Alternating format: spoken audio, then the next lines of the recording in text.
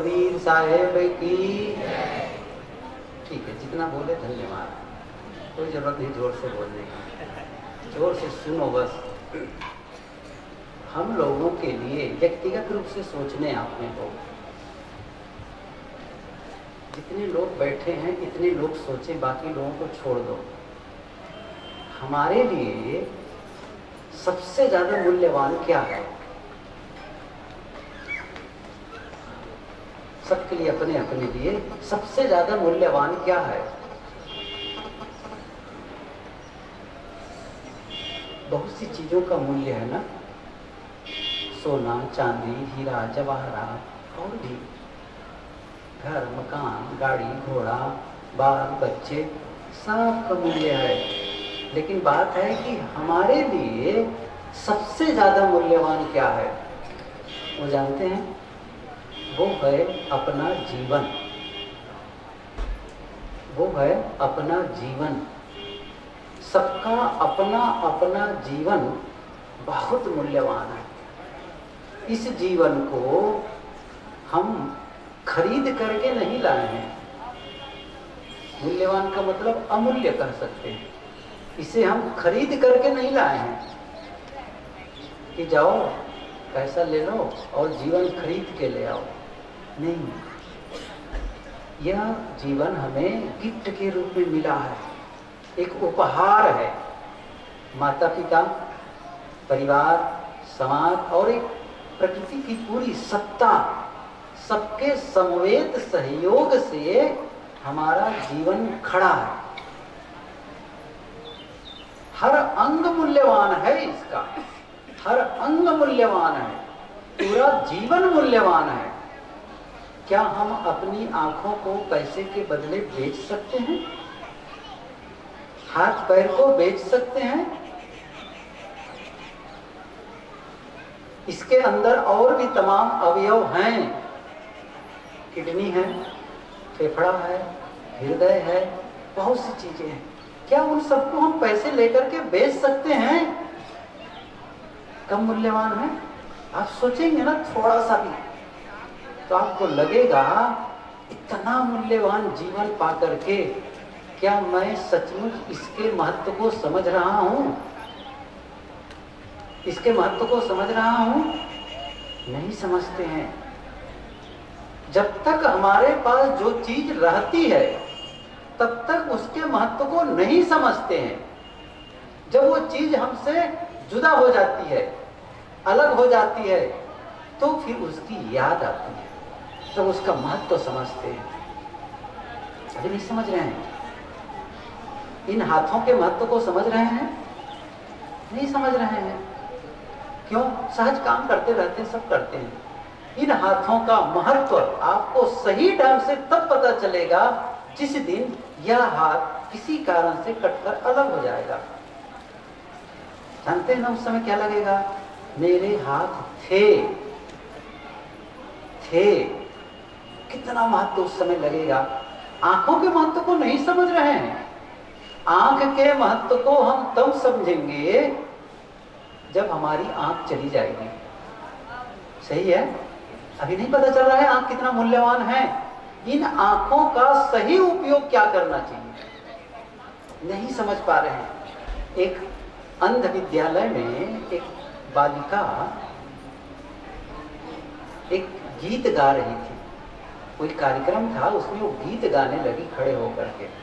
गीत का भाव क्या था? गीत का भाव था कि, हे प्रभु, मैं गुलाब के फूल की सुगंधी लेती हूँ, गुलाब के फूल का स्पर्श करती हूँ, लेकिन प्रभु, मैं गुलाब के फूल को देख नहीं सकती। सूर्य के प्रकाश को महसूस करती हूँ, उसकी धूप को महसूस करती हूँ लेकिन प्रभु मैं धूप को सूर्य को देख नहीं सकती। समुद्र की गर्जना महसूस करती हूँ, उनकी लहरों को स्पर्श करती हूँ, लेकिन समुद्र को देख नहीं सकती। माँ की गोद में बैठती हूँ। माँ के वात्सल्य का, स्नेह का, प्रेम का अनुभव करती हूँ। लेकिन हे प्रभु, मैं माँ के चेहरे को नहीं देख सकती। कितना दर्द है, जिसकी आँख नहीं है। और आज हमारी आँख है। कौन सा बात तो समझ रहे हैं? ईसा मसीह जा रहे थे।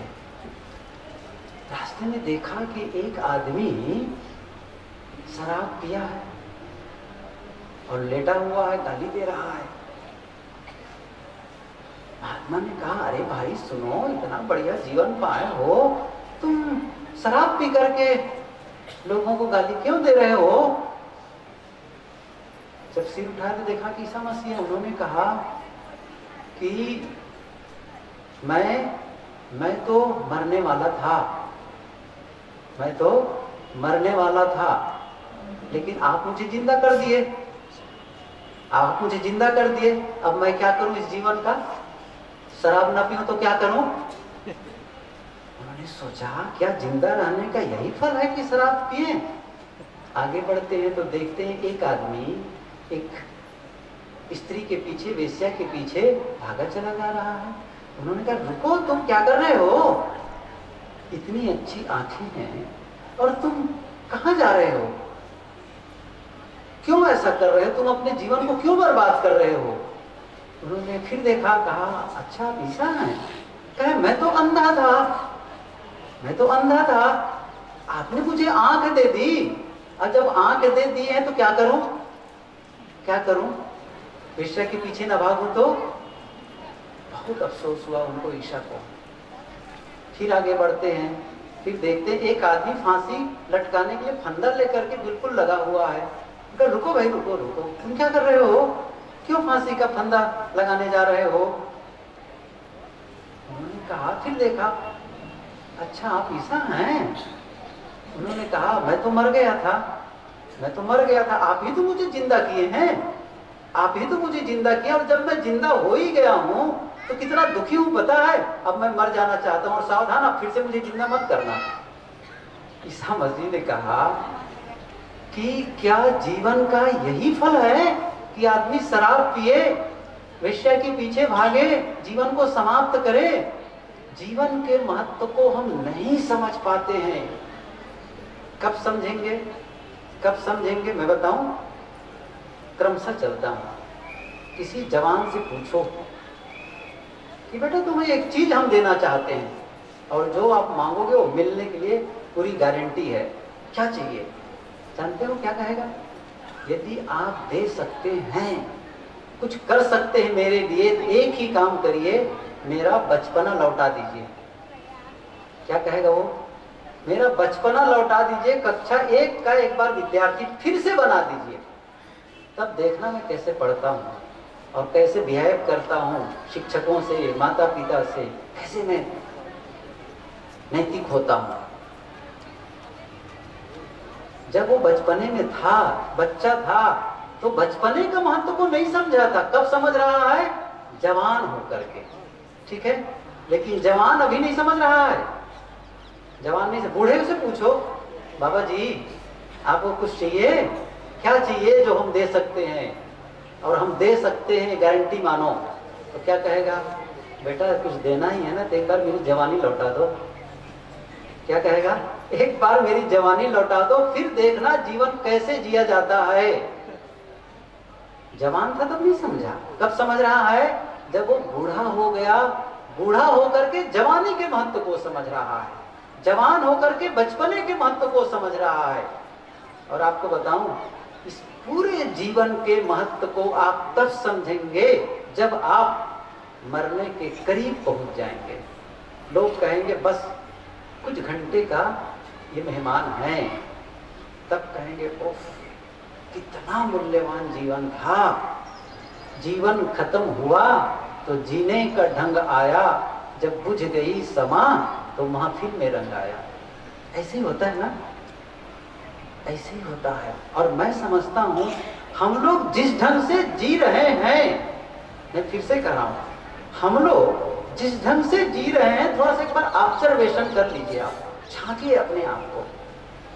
क्या सचमुच मरणासन्न में, जब मैं मरण के निकट होऊँगा, मौत के करीब होऊँगा तब मेरी मानसिक दशा क्या होगी? क्या मुझे ऐसा लगेगा, मैंने अच्छा जीवन जिया?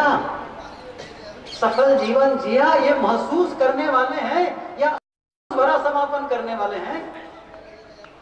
बहुत लोग तो मैं समझता हूँ, हमें से बहुत लोग अंत में इतना अफसोस भरा समापन करेंगे इंड करने वाले हैं। क्या होगा, जानते हैं? उनके जो बहुत बड़ा अफसोस वाला एक वाक्य होगा, जीवन में सबसे बड़ा अफसोस वाला वाक्य वो कौन सा जानते हैं? यह मैं कर सकता था। क्या कहेगा? मैं कर सकता था, जीवन को पवित्र बना सकता था, मन को निर्मल बना सकता था, जीवन का मैं कल्याण कर सकता था।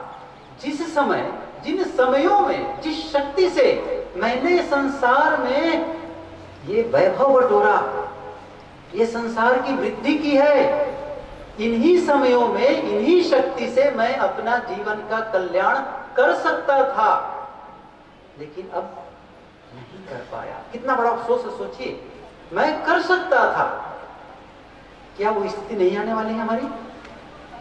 वही आने वाली है। लेकिन एक सफल आदमी क्या कहेगा, ये भी सुन ले रही है। जो सचमुच जिसने कर लिया, वो क्या कहता है अंत में? या मैंने कर लिया। क्या कहेगा? या मैंने कर लिया। आप क्या अनुभव करना चाहते हैं? आप क्या अनुभव करना चाहते हैं?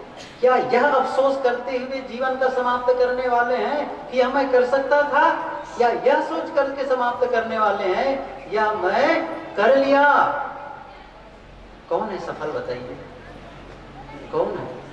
मैं तो निवेदन करता हूँ, अभी अवसर है अवसर है। जीवन के स्क्रिप्ट को आप बदल सकते हैं, फिर से लिख सकते हैं, नया जीवन निर्माण कर सकते हैं।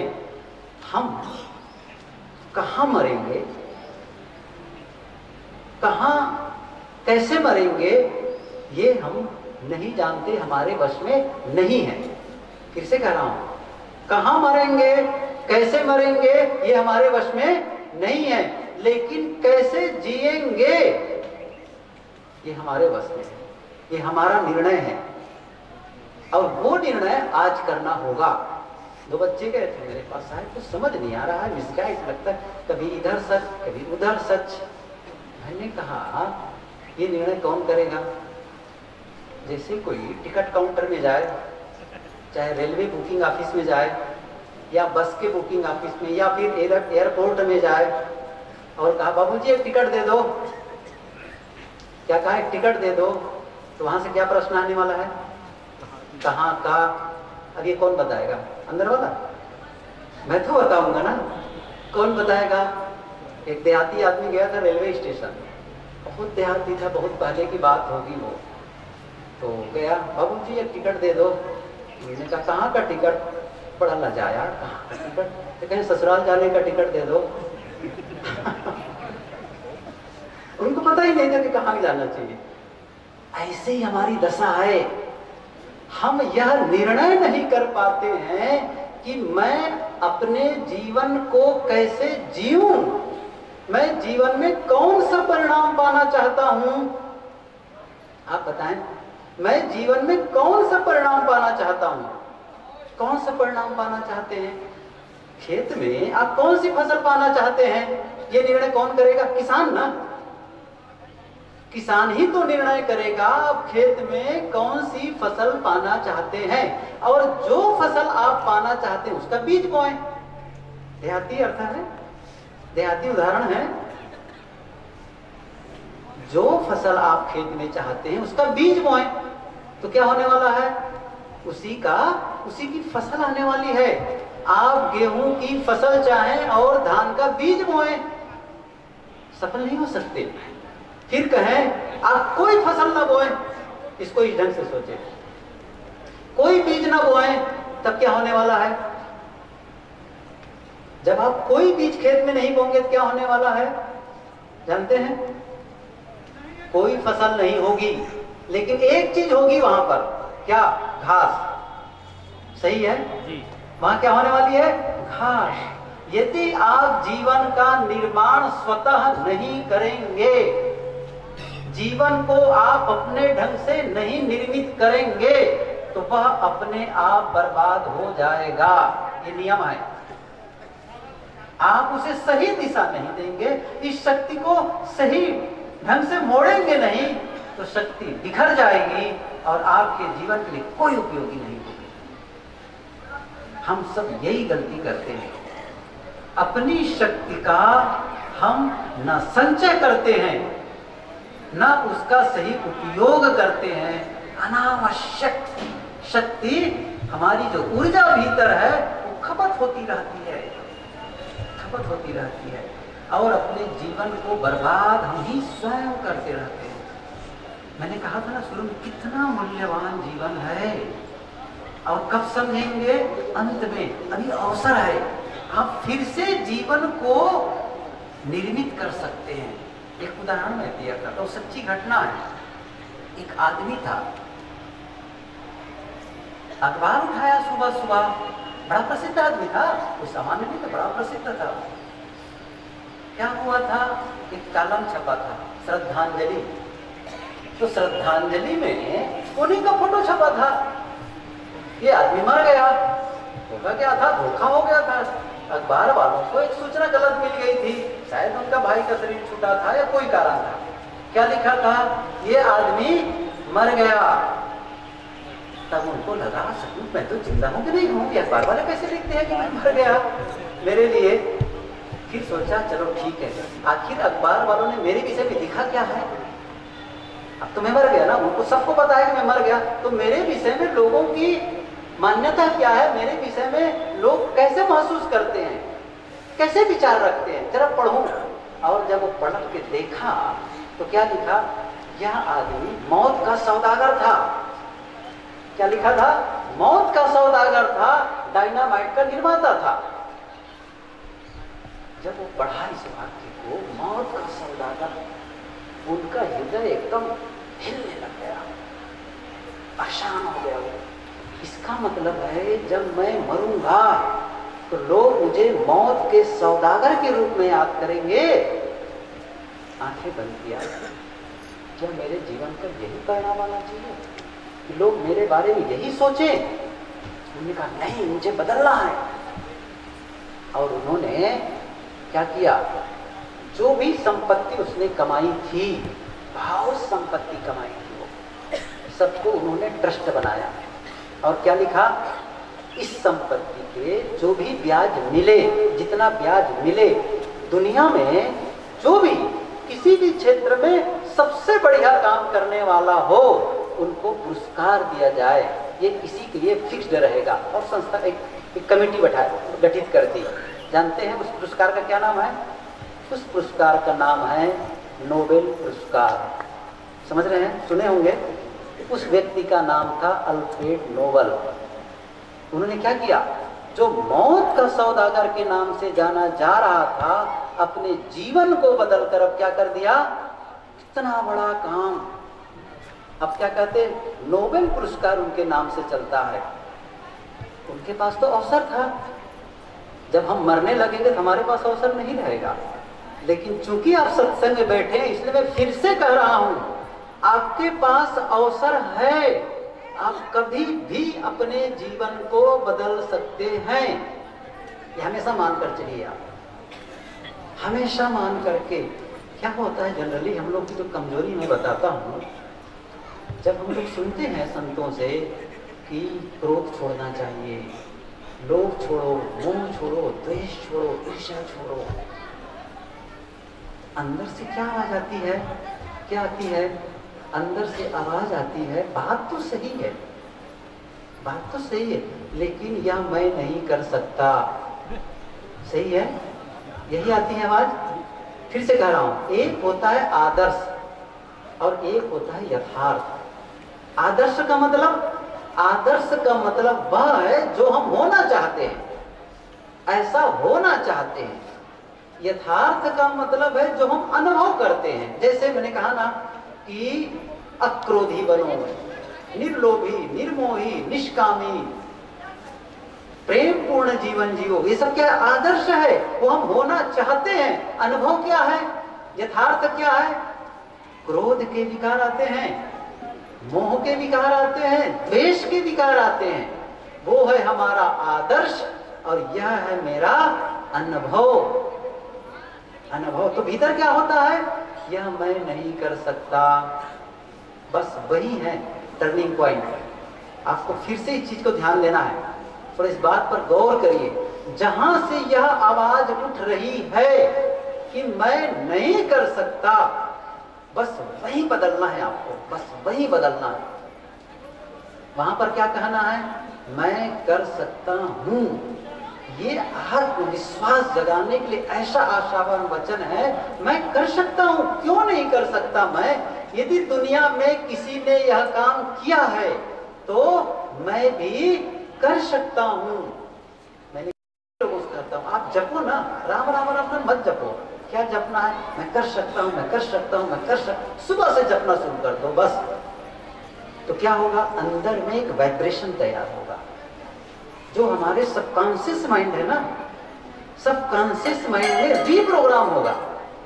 ये हम जानते ही नहीं मैं सही बताऊँ ना जीवन को हम बड़े उथले ढंग से जीते हैं। इतना उथला, जैसे समुद्र है ना, लहर पर लहर, समुद्र के पेट में उतरते ही नहीं है। कितने प्रशांत है ऐसे ही जीवन का लेवल जब जीते ना, बिल्कुल कमाना, खाना, जीना, लड़ना, झगड़ना, बस। जीवन को समझो तो जरा से। सबकॉन्सियस माइंड में जो आपका अवचेतन मन है, वो आपके विचारों से अछूता रह जाता है। अछूता रह जाता है।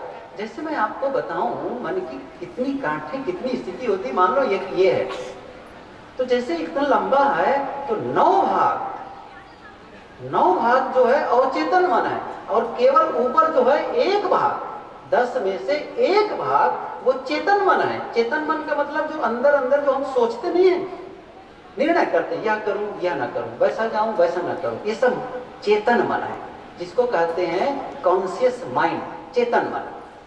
और अवचेतन मन जिसमें आदतें सुरक्षित रहती हैं, संस्कार सुरक्षित रहते हैं। ऐसा नहीं है कि हर चीज़ को हम रोज रोज सीखें। जैसे रोज बुट शर्ट पहनना हो सीखने के सीखो और तब बुट शर्ट पहनो तो हैरानी इतनी है। हमने सीख लिया। अब आँखें बंद करके भी बुट शर्ट पहन सकते हैं। कैसे पहन सकते हैं? सब कॉन्सियस माइंड में प्रोग्रामिंग है। उसी प्रोग्रामिंग के आधार पर आप सब काम करते रहते हैं। तो गलत प्रोग्रामिंग जब हो गई है तो परिणाम क्या आएगा? गलत। अब उसको रिप्रोग्राम करना है तो कैसे करना है? मैं एक उदाहरण बताऊँ आपको। आपके पास एक कंप्यूटर है। आज तो कोई रोक टोक नहीं है ना बोलने में? मुझे कहा गया है। कंप्यूटर है। कंप्यूटर में जब आप सॉफ्टवेयर डाल रहे थे तो एक मिस्टेक हो गया। क्या मिस्टेक हो गया? दो धन दो बराबर पाँच। क्या हो गया गल, क्या गलती हो गई? दो धन दो बराबर पाँच। ठीक है? अब जो भी साहब आप कोई भी प्रश्न क्वेश्चन हल करना चाहते सॉल्व करना चाहते क्या आएगा उत्तर? गलत आएगा ना? क्यों? वहाँ पर फिर ही गलत हुआ है। जो सॉफ्टवेयर है वही गलत है। तो जो उत्तर आएगा गलत आएगा ना अब हम चाहते हैं कि सही उत्तर आए तो क्या करना होगा? बिल्कुल सरल बात बता रहा हूँ। तो क्या करना होगा? वो जो आप फिट किए ना उसको बदलो। क्या करना होगा? दो धन दो बराबर पाँच को बदल कर करना है। दो धन दो बराबर चार। अब क्या होगा? अब जब डालेंगे तब उत्तर क्या आएगा? सही। तो हम क्या अंदर में क्या प्रोग्रामिंग कर चुके हैं? मैं नहीं कर सकता। सही कह रहा हूँ? वही हो गया है ना? मैं नहीं कर सकता। क्यों? क्योंकि आपका आत्मविश्वास जागृत हुआ ही नहीं है। और मैं सुबह के सत्र में थोड़ा कहा था, कोई भी शक्ति, जो सबके भीतर है शक्ति, वह शक्ति जब उसे आप क्रिएट करते एक्टिवेट करते हैं, उसको जागृत करते हैं तो ही काम लायक है होती है वो नहीं तो शक्ति अंदर अंदर वो सुप्त प्राय पड़ी रहती है। उसको जगाना पड़ता है। कैसे जगाना पड़ता है? जैसे दूध एक गिलास दूध दिया जाए। और क्या हुआ? दूध देने वाले ने क्या किया? उसमें दो चम्मच चीनी डाल दिया। लेकिन हिलाया नहीं था। चीनी जाकर के कहा बैठ गई? तली में। अनुभव है? अनुभव है? चीनी तली में बैठ गई है और आज जब पूरा दूध पी लेते अंतिम अंतिम लगता अच्छा इसमें चीनी भी थी। अंतिम में पता चलता है। ठीक है? अब क्या करना है उसको? यदि पता है कि चीनी है तो क्या करना है? चम्मच लेकर के हिला देना है। ऐसे ही अंदर की शक्ति को क्या करना है? हिला देना है। कैसे हिलाएँगे? वो संकल्प से होता है। आप जब संकल्प लेते हैं भीतर जोरों से कि मैं बदल के ही रहूँगा। और जितना झटके से जब भीतर जाता है ना तो भीतर जो सोई हुई शक्ति एकदम चंकृत हो जाती है। सारी दिखाई नहीं देती है। लेकिन मन के विज्ञान को जिस दिन समझेंगे ना, उसी दिन ये बात समझ में आएगी। नहीं तो लोग कहते हैं ना, महात्मा लोग बीड़ी मत पियो, सिगरेट मत पियो, गाली मत दो, क्रोध मत करो। आपको बताऊँ क्रोध न करो, ऐसा उपदेश करने वाला भी क्रोध करता है। क्षमा करें। सही कह रहा हूँ? सही कह रहा हूँ? क्रोध न करो, ऐसा उपदेश करने वाला, ऐसा लिखने वाला भी क्रोध करता है। क्यों? वैचारिक दृष्टि से तो मानता है कि क्रोध करना बुरा है, लेकिन भावनाओं की दृष्टि से जो भावना है, वो अभी बदली नहीं है। और हमारी भावना ही हमारे विचारों को ऊर्जा देती है। और जब तक के आपकी भावना नहीं बदलेगी, केवल विचार बदलने से काम नहीं होने वाला है। आप केवल सोचते हैं कि बुरा है क्रोध, लिखवा भी देते हैं दीवार पर। क्रोध करना बुरा है। क्या होगा? क्या होगा इससे? कुछ नहीं होगा, क्योंकि आपने रिप्रोग्राम किया ही नहीं है। उसको बदलना है भीतर से। भीतर से बदलना है। तो कहने का मतलब यह है भीतर बदलेंगे तो बाहर बदलेगा। लोग कहते हैं ना, व्यवहार सुधारो। क्या कहते हैं? व्यवहार पवित्र करो, चरित्र सुधारो। क्या होता है? फिर से कह रहा हूँ, थोड़ा ध्यान दीजिए। चरित्र सुधारो, व्यवहार सुधारो। मैं बताऊँ, चरित्र का मूल्य दो कौड़ी का है। व्यवहार का कुछ भी मूल्य नहीं है। मूल्य किसका है? मूल्य है आत्मा का। मूल्य है चेतना का। मूल्य है चेतना का। यदि हमारी चेतना जहरीली है तो हमारा व्यवहार जहरीला होगा। और हमारे चेतना में यदि अमृत है, मधु है तो व्यवहार कहाँ से बढ़िया कहाँ से खराब होगा? आप बताएँ, भीतर में जो है वही तो बाहर निकलेगा। यदि हमारे मन में कड़वाहट नहीं है तो वाणी में कड़वाहट आएगी कहाँ से? एक ने बहुत सुंदर लिखा है। आपके मुँह से कड़वे बोल निकलते हैं। आपका मन कैसा होगा? सोचिए जब इस वाक्य को पढ़ा मैं तो आँखें बंद करके चुप। मैंने कहा, कमाल की बात है। आपके मुँह से कड़वे बोल निकलते हैं। आपका मन कैसा होगा? देखिए बंधुओं, जब हम नल खोलते हैं ना, पानी वाला नल खोलते हैं ना तो पानी जब हम हाथ में लेते हैं या पात्र में लेते हैं तो पानी देख लेते हैं, पानी ऐसा है। और इसके आधार पर हम क्या अंदाज़ा लगाते हैं? टंकी में यही पानी है। क्या कह रहा हूँ? नल के पानी को देख करके हम अंदाज क्या लगा लेते हैं? टंकी में भी यही पानी है। ऐसे ही ये जो वाणी है ना, ये नल की तरह है।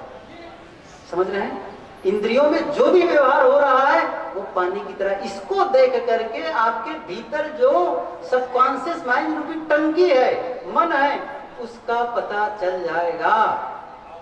आप भीतर से कैसे हैं? कैसे हैं? तो बाहर बदलने की अपेक्षा आपको भीतर बदलना है। आपके मन में जब प्रेम होगा, आपके मन में श्रद्धा जब जम जाएगी तो क्या बताना पड़ेगा? कि बड़ों से प्रेम किया करो, बड़ों के प्रति श्रद्धा किया करो गुरु के श्रद्धा करो। अरे, कमाल की बात है। मतलब आप भीतर से नहीं समझ पा रहे हो उस चीज़ को। आपको ऊपर से कहना पड़ेगा। आप समझिए इस चीज़ को। जिस दिन आप महसूस करने लग जाएँगे कि ये आवश्यकता है मेरी। फिर आपको भीतर से नहीं बदलना है। बाहर के व्यवहार को ज़बरदस्ती बदलकर आप जीवन नहीं बदल सकते।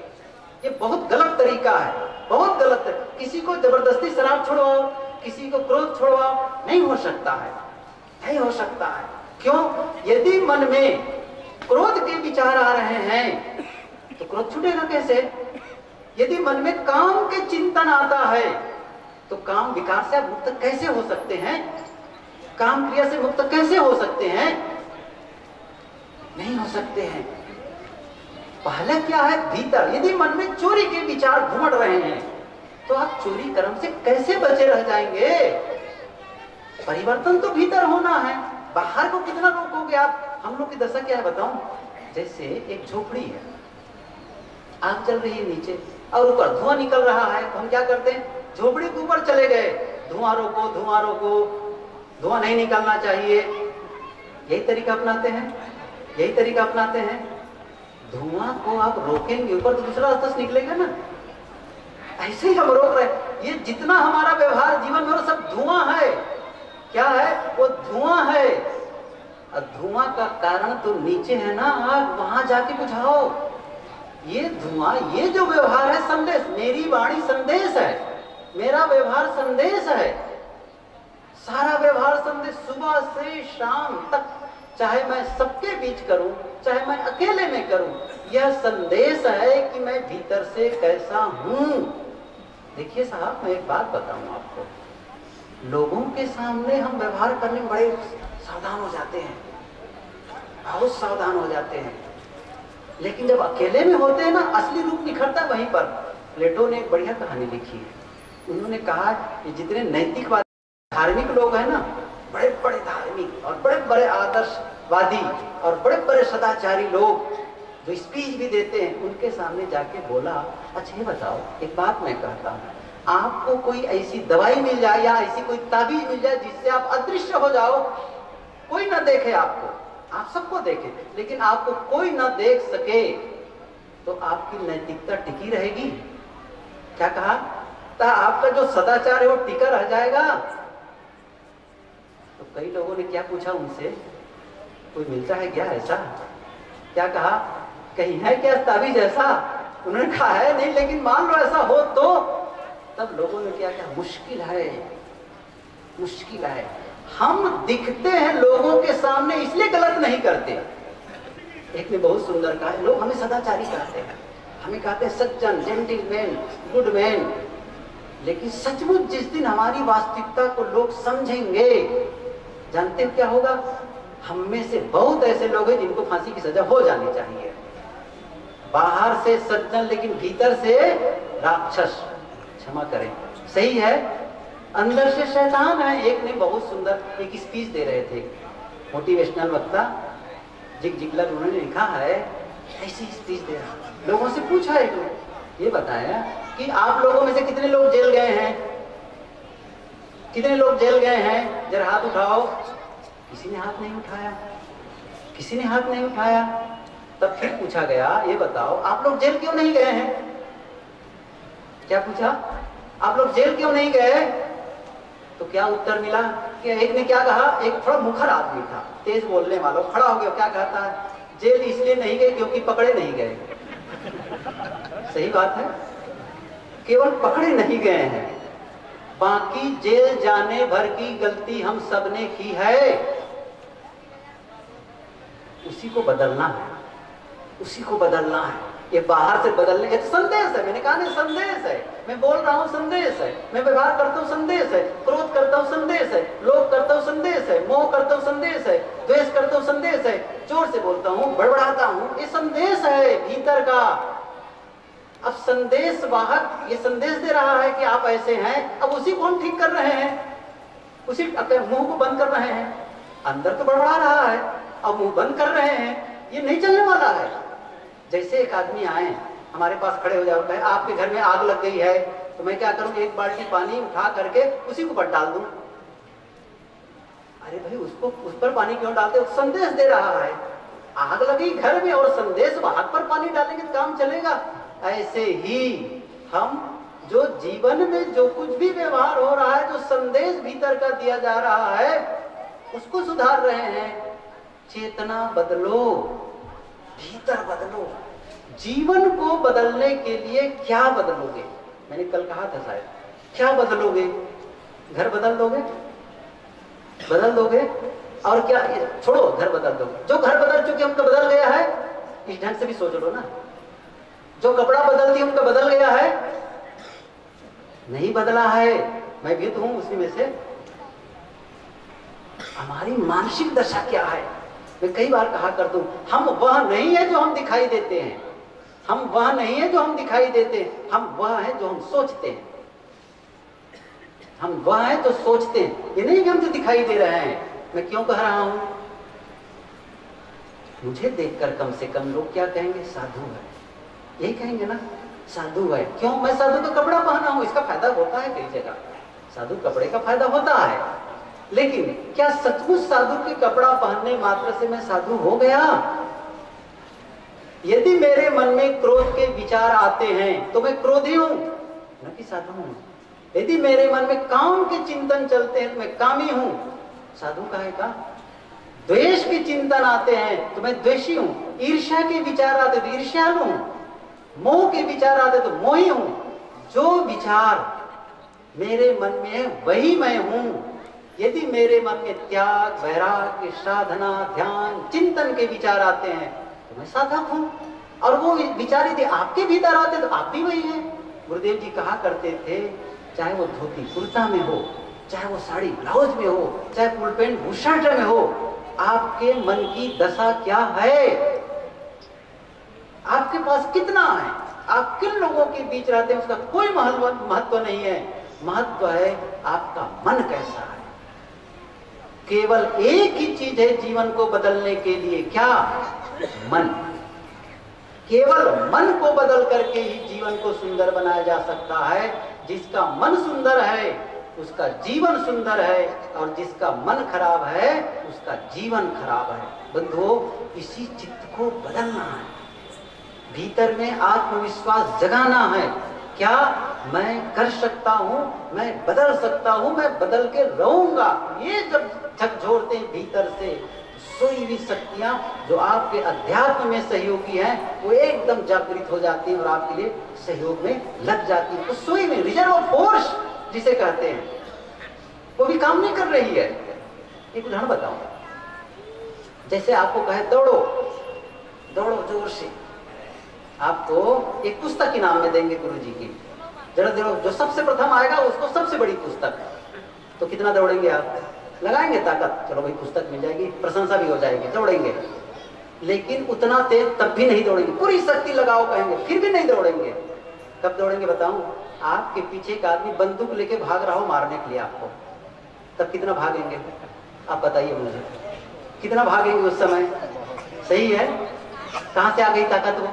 पहले कहते पूरा दौड़ लिया कहा के पूरी ताकत चुक गई। लेकिन अब ताकत कहाँ से आ गई? वो जो रिज़र्व फोर्स है ना, वहाँ काम आई। अरे बचो एक खरगोश था। उसको कुत्ता देख लिया। झपटा। भगा खरगोश। बिल्कुल, एकदम दुम दबा करके और इतना ज़ोर से भगा और जाकर के बिल में घुस गया। कुत्ता जाकर के बिल के पास बैठ गया। अब अंदर से खरगोश बोल रहा है, क्यों भाई? स्वान महाराज, तुम तो मेरे से तेज दौड़ते हो और मैं तो धीरे दौड़ने वाला हूँ। फिर भी तुम कैसे नहीं पकड़ पाए? हाँ वही मैं भी सोच रहा हूँ बैठे बैठे आखिर हुआ कैसे? मैं तेज दौड़ने वाला और ये तो अंदर से खरगोश ने क्या कहा? उन्होंने कहा, तुम दौड़ रहे थे। तुम दौड़ रहे थे भोजन के लिए। और मैं दौड़ रहा था प्राण बचाने के लिए। सही है? अंतर होगा? ऐसे ही जब आपकी शक्ति जो भीतर है, उसको जब आप जगाएँगे तो वो फिर आपकी साधना में सहयोग करने लग जाएगी। लेकिन हम जगाना जानते ही नहीं है। समस्या यह है, और इसीलिए जीवन ऊपर ऊपर बस यूँ ही चला जाता है। जीवन के महत्व को समझते ही नहीं है। मैं कह रहा था, अंदर में क्या पॉइंट है? जो मैं नहीं कर सकता, जो कह रहे हैं अब आपसे कल सुबह से क्या जब करना है? मैं कर सकता हूँ, मैं कर सकता हूँ, मैं कर सकता हूँ, और मैं करके ही रहूँगा। ये जिस दिन आप संकल्प लेंगे, और मैं कहा ना बीच में कहा था, कभी भी बदल सकते हैं। देरी कभी भी नहीं होती है, चाहे जितनी बड़ी गलती आपसे हो गई हो तो कान खोल के सुन लीजिए। चाहे जितनी बड़ी गलती आपसे हो गई हो, और जितने दिन से हो रही हो, आप बदल सकते हैं। आप बदल सकते हैं। और कब बदल सकते हैं? आपकी ज़िंदगी को बदलने में कितना समय लगेगा? कितना समय लगेगा? मैं बता दूँ? एक मिनट। कितना एक मिनट से भी कम। मैंने पुस्तक ही पढ़ी है। आपकी ज़िंदगी सिर्फ़ एक मिनट में बदल सकती है। जब पुस्तक को देखा हेडिंग को, उसके टाइटिल को, मैंने कहा, ये सब लेखक लोग भटकाते हैं। लेकिन मन हुआ कि ला पढ़ूं और जब पढ़ा तो मैं भी स्वीकार लिया। सही कहता है इन आदमी। आप कहते हैं साहब, आप भी भटक गए। मैं सही कहता हूँ। वही है बदलने का टाइम जिस दिन आप ये निर्णय लेते हैं मैं बदलना चाहता हूँ। बस हो गया खत्म। आज के पहले जो कुछ हुआ, उसको समाप्त। आज तारीख से एक नया जीवन मैं शुरू करता हूँ, नया अध्याय लिखूँगा। कोई रोक नहीं सकता आपको, कोई रोक नहीं सकता आपको। इस दुनिया में किसी की ताकत नहीं है। यदि आप जीवन को पवित्र बनाना चाहें तो रोकें, लेकिन आप अपने जीवन को सुंदर नहीं बनाना चाहेंगे। तो दुनिया में कोई ताकत नहीं है जो आपका सहयोग कर सके। सबसे ज़्यादा महत्वपूर्ण आप खुद हैं, आप स्वयं हैं। आप ही हैं अपने जीवन का निर्माता। आप ही बिगाड़ते हैं, आप ही बनाते हैं। हम स्वयं निर्माता हैं, मैं स्वयं निर्माता हूँ। हर आदमी अपने जीवन का निर्माता है। जिस दिन ही आप स्वीकारेंगे, मैं एक दिन कहा था ना, आप जिम्मेदार हैं। जीवन में जो कुछ भी घटता है, इसकी ज़िम्मेदारी स्वीकार करो। जीवन में जब थोड़ा सा अप होना है ना ऊँचा उठना है इसके तरीका मैं बताता हूँ। सबसे पहला आपको क्या करना पड़ेगा कहना पड़ेगा मैं जिम्मेदार हूँ। जीवन का जिम्मेदार मैं हूँ। मेरे जीवन का जिम्मेदार मैं हूँ। कितनी प्रतिशत?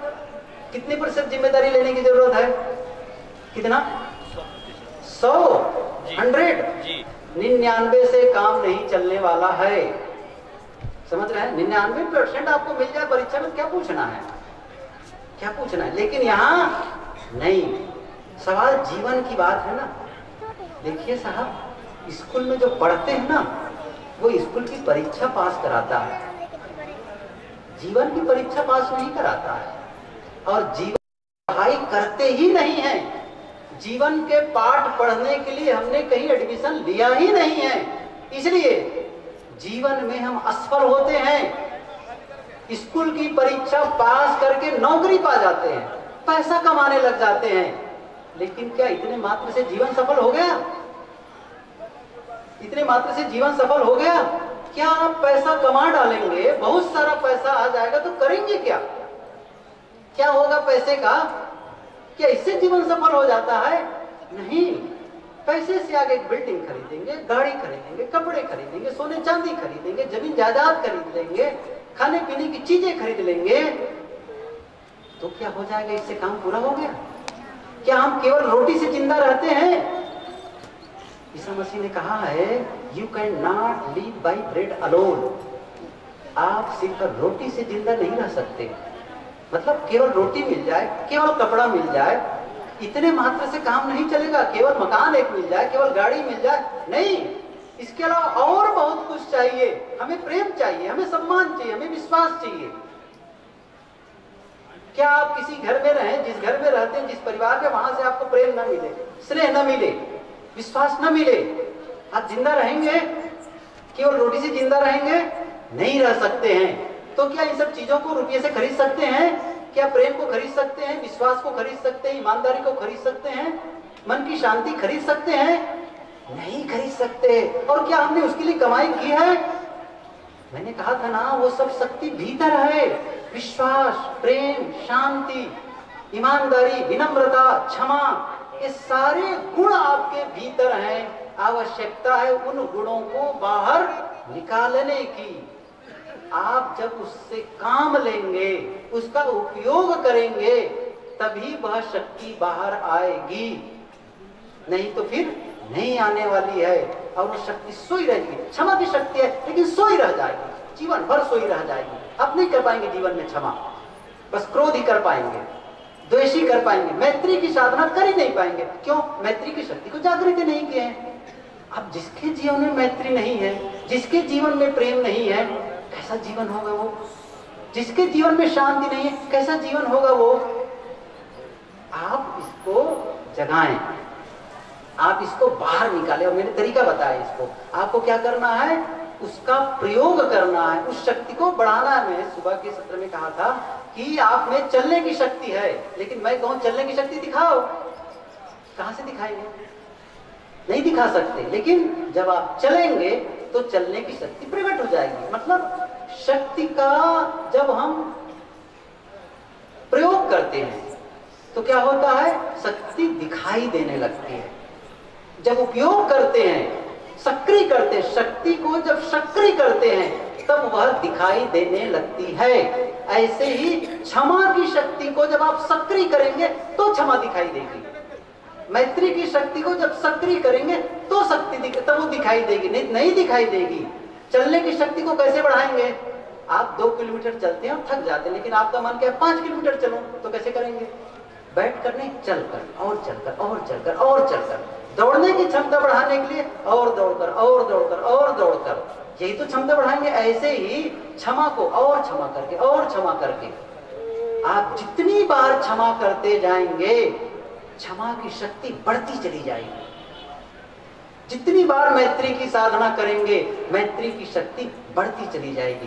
विश्वास की साधना करेंगे, विश्वास की शक्ति बढ़ती चली जाएगी। लेकिन हम ठीक उल्टी शक्ति का प्रयोग करते क्रोध का प्रयोग करते हैं, द्वेष का प्रयोग करते हैं, शत्रुता का प्रयोग करते हैं, लड़ाई झगड़े का प्रयोग करते हैं। और इसलिए वही वृद्धि होती एक ही पॉइंट मैंने कहा ना, वही है वो चीज़। है तो एक ऐसा जहाँ से क्रोध पैदा होता है, बिल्कुल वही बिल्कुल वही बैठा हुआ है, बैठी हुई है क्षमा। आप ध्यान दीजिए, एक ऐसी इतनी पतली रेखा है जिसका कोई पता ही नहीं चलेगा आपको। जहाँ पर क्रोध है आपके भीतर बिल्कुल सटा हुआ, वही बैठी हुई है क्षमा। कैसे? मैं इसको सहज ढंग से बताऊँ। आप क्रोध कब करते हैं? क्रोध कब करते हैं? जब कोई आदमी आपके मन के प्रतिकूल व्यवहार करता है। कोई व्यवहार प्रतिकूल घटना घटती है, अन्यायपूर्ण व्यवहार करता है, तभी तो क्रोध करते हैं। कब करते हैं क्रोध? इसी समय ना? उसी समय क्रोध करते हैं। मैं किसने कहा कि भाई बहुत क्रोध आता है। एक महात्मा ने कहा अच्छा दिखाओ कहाँ है क्रोध? तो दिखाओ क्रोध कहाँ है? अरे, ऐसे थोड़ी दिखाई देता है। और जब कहीं गड़बड़ी होती तो दिखाई देता है। इसका मतलब आपका स्वरूप नहीं है। क्रोध आपका स्वरूप नहीं है। स्वरूप होता तो हर समय होता ना। तो उन्होंने कहा कि क्रोध वही है। कब? जब कोई गलत व्यवहार करता है, तब। दूसरी बात, क्षमा आप कब करेंगे? इसको सोच लें, क्षमा आप कब करेंगे? बिना कारण के नहीं करेंगे ना। बिना कारण के क्रोध नहीं तो बिना कारण के क्षमा भी नहीं। ऐसा थोड़ी रास्ते रास्ते जा रहे हो और कहें, नमस्कार नमस्कार नमस्कार, आपको मैं क्षमा करता हूँ। वो कहेगा, काहे का क्षमा भाई? काहे का नमस्कार? कुछ समझ में आएगा? नहीं आएगा। क्षमा आप कब करेंगे? जब किसी ने आपके साथ गलत व्यवहार किया है, तब क्षमा करेंगे। वहीं पर है दोनों। अब आप अब आप वहीं पर निर्णय लेना है, उस क्रोध की शक्ति को बाहर निकालो कि क्षमा की शक्ति को बाहर निकालो। बस यही है चुनाव। आपका जीवन चुनावों का जीवन है। आप चुनाव करते हैं। यदि आप लंबे समय तक के क्रोध करते आ रहे हैं तो आपको क्या होगा? क्रोध जल्दी निकलेगा। क्यों? ऊपर है वो। जल्दी निकलेगा। फट से बाहर आएगा। क्षमा को चूँकि प्रयोग ही नहीं की इसलिए वो दबी हुई लेकिन अब क्या जान बूझ करके, क्रोध ना निकाल करके क्षमा। जब क्षमा को थोड़ा बाहर निकालेंगे तो और बाहर और बाहर। और जब बाहर करते जाएँगे तो जो क्रोध है क्या होगा? वो छोटा पड़ता जाएगा, छोटा पड़ता जाएगा। मैं एक उदाहरण बताऊँ, सब लोग जानते हैं। हम लोग सब पढ़े हैं। एक लकीर खींची गई। एक लकीर खींची गई और कहा गया, इस लकीर को छोटी कर दो, बिना काटे, बिना छेड़े। कैसे करेंगे? पता है? पता है? कैसे करेंगे? एक बड़ी लकीर खींच देंगे। तो क्या होगा? लकीर छोटी हो गई। ऐसे ही जो क्रोध है ना, उसको छोटा करना है। कैसे करना है? क्रोध की शक्ति को बढ़ा देनी जब क्रोध को क्षमा को बढ़ा देंगे, क्रोध की शक्ति को कम कम करने के लिए क्या करने? क्षमा की शक्ति को जब बढ़ा देंगे तो क्रोध अपने आप ठंडा होता चला जाएगा वो दबता चला जाएगा। लेकिन अभी तक हमने प्रयोग ही नहीं किया है। शत्रुता का प्रयोग करते कोई बात है दुश्मन है। मैत्री का प्रयोग नहीं करते हैं, प्रेम का प्रयोग नहीं करते हैं। और आपको जान जानबूझकर करना पड़ेगा। फिर फिर कह रहा हूँ, जीवन को सुंदर बनाने के लिए स्वयं को पहल करने की आवश्यकता है।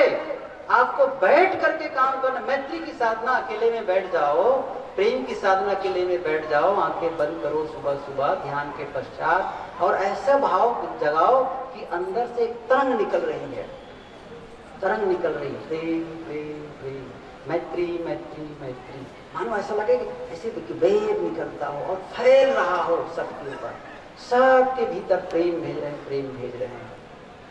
कोई नुकसान होने वाला है? जब आप घृणा करते हैं जब आप शत्रुता करते हैं तो आप भीतर अपने आप को तोड़ते हैं, बहुत नुकसान करते हैं। लेकिन जब मैत्री करते हैं ना, जब प्रेम करते हैं, करुणा करते हैं ना, बहुत फायदामंद होता है। It cost to be kind दयालु होने में कुछ भी खर्चा नहीं लगता है, कुछ भी नहीं लगता है।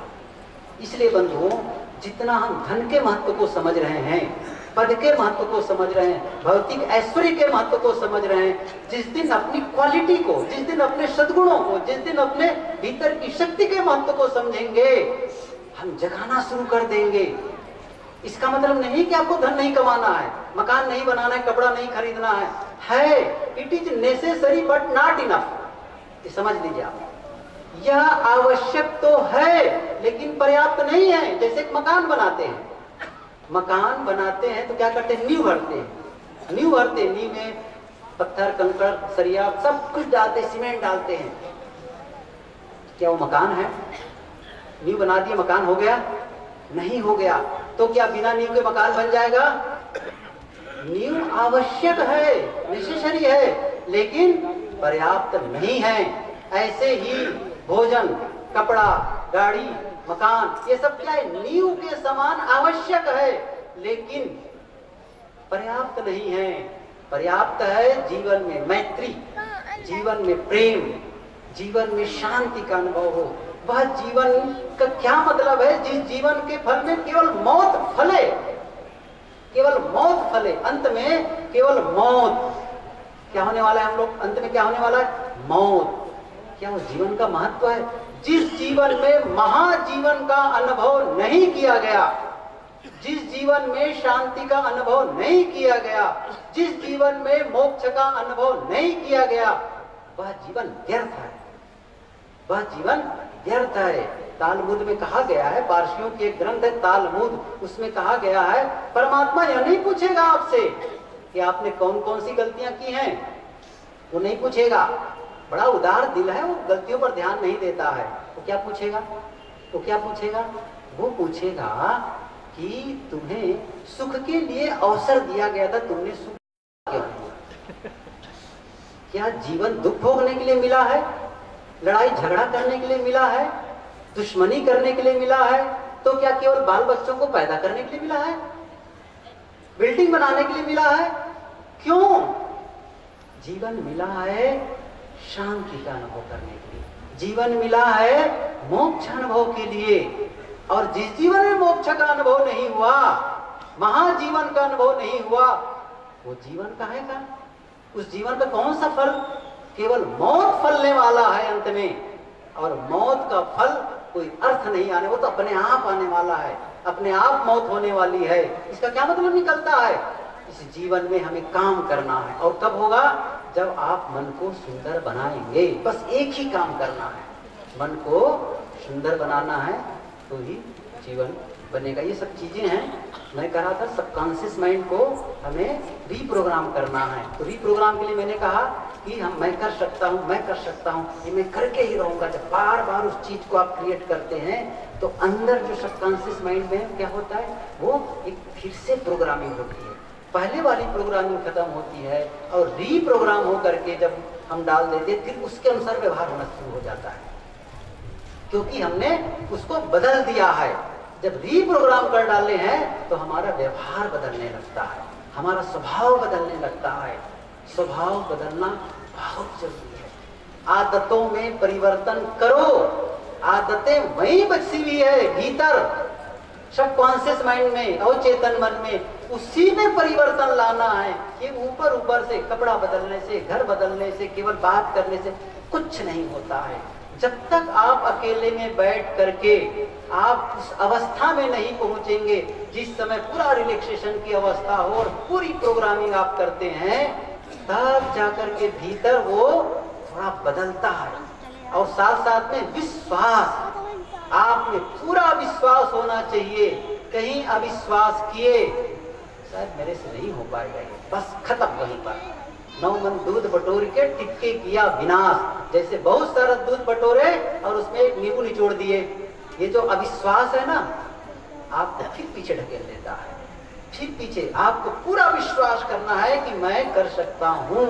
और जब आप कहने लगते हैं, मैं कर सकता हूँ, आपकी सोई भी शक्ति जागती है और आपके सहयोग करने लगती है।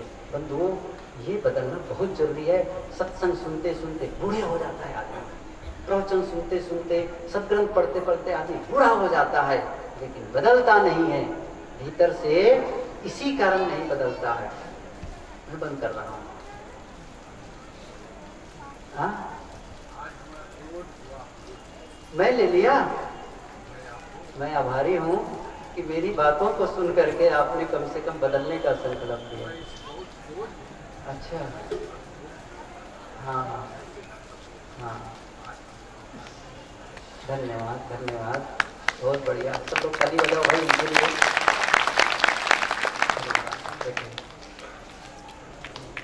अभी ये ऊपर से चला गया है। तो साहब कहते हैं ना, मन को गिर तक जान के मत कीजिए विश्वास। साधु तहाँ तक भय करे, जहाँ तक पिंजर सांप। मैं जाना, मन मर गया। मर के हुआ भूत, मुँह पीछे उठ लगा ऐसा मेरा पूत। तो फिर से उठकर खड़ा हो जाता है।